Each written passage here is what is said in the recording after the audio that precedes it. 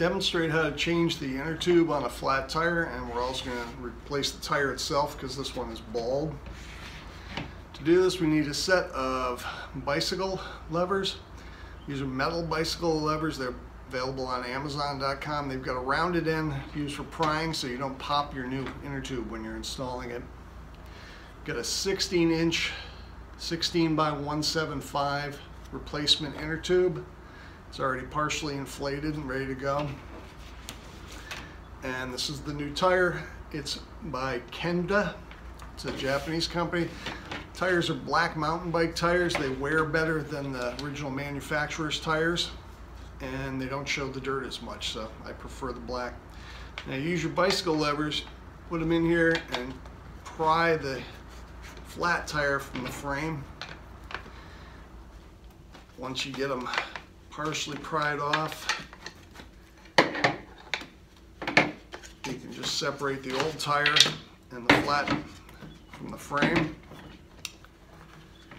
Those are both going in the garbage. Now you take your new inner tube that's partially inflated and insert that in the new tire. If you try and install a flat new tube in frame, it's very difficult to get it in there. It's partially inflated, you just insert it. Remove the valve stem cover. Find the hole for the valve stem on the rim.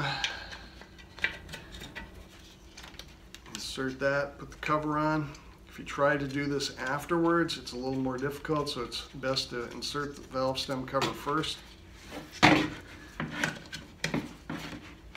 you can get the thread going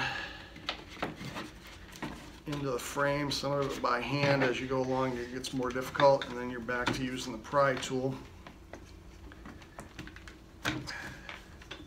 The tools come in sets of threes. You can usually do it with just three tools, but if you have six, it does make the job easier.